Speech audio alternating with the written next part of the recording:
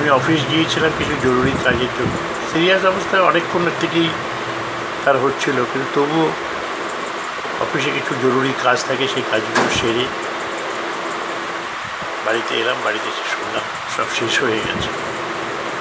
সে প্রায় দু তিন মাস হলো সে ভুগছে, নানা রকম র্যাশ, কিডনির প্রবলেম, তারপরে আপনার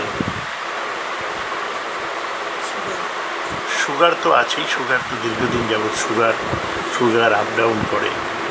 নানা রকম সমস্যাই রয়েছে, লিভারের প্রবলেম হয়েছিল।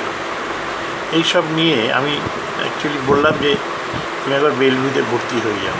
তিনি বেলভিউতে ভর্তি হতে তখন চাইনি কারণ ওই একটা মনোজ আগরওয়াল, একটা মব জাতীয় জিনিস। উনি জানতেন না যে ওর অ্যালার্জি হবে।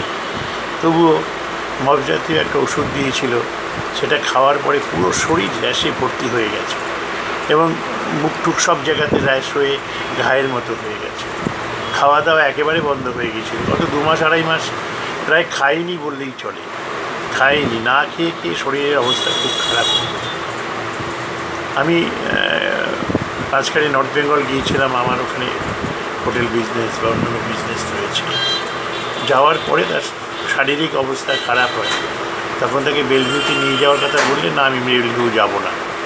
কোথায় যাবে? ডাক্তার হর্ষ আগরওয়ালের একটা অল এশিয়া মেডিকেল ইনস্টিটিউট সেখানে নিয়ে গিয়ে নানা রকম চেষ্টা করে কিছুটা ইমপ্রুভও করেছে লিভার থেকে কিডনি থেকে একটা জায়গায় এসেছিল। কিন্তু ওখানে ডাক্তারবাবু বলেন যে একটু বাড়ি নিয়ে যান, বাড়ি থেকে অনেক দিন তো এখানে বাইশ তেইশ দিন হলো রয়ে গেছে, বাড়িতে গেলে একটু ভালো লাগবে সেই হিসাবে ওনাকে জিজ্ঞাসা করলাম যে, তুমি বাড়ি যাবে?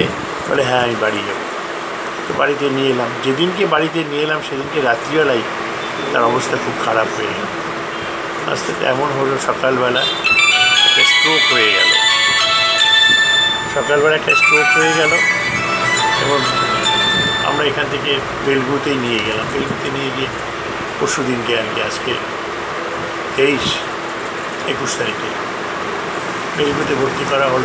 সঙ্গে সঙ্গে আইসিসিতে দিয়ে দিলাম। এবং গতকাল থেকে ভেন্টিলেশনে এসে আজকে চলে গেল একটা সময়।